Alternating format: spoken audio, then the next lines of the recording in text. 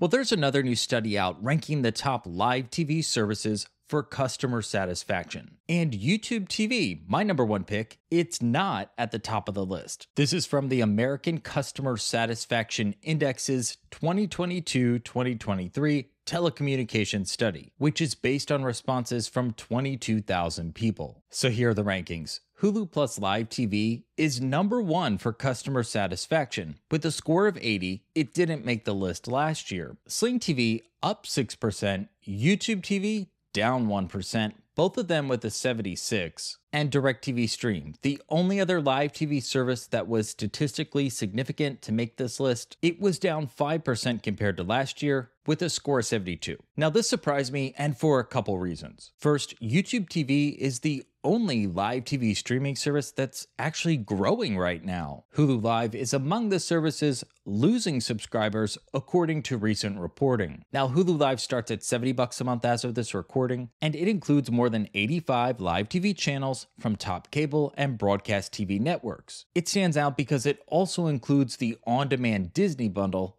no extra charge. And that brings me to the second reason why this study surprised me. The ACSI also ranked other streaming apps for customer satisfaction, including the components of the Disney bundle. So that's Hulu, Disney Plus, and ESPN Plus. Of those three, only Hulu ranked near the top of the list. It came in third after Prime Video and Peacock. As you see here, Disney Plus and ESPN Plus near the bottom of the rankings. So you might think that would impact customer satisfaction for Hulu Plus Live TV, which again includes the Disney bundle, but apparently not. Last year, I made a video about JD Power's rankings of live TV services. That study ranked Hulu Live fourth, not first, and it gave the top spot to Fubo TV, which didn't even make the ACSI list. Now, these reports, yeah, they can be interesting to read and talk about, but they may not be the best way to choose a live TV streaming service. The sample sizes for these studies are relatively small. You may find more specific pros and cons that you're looking for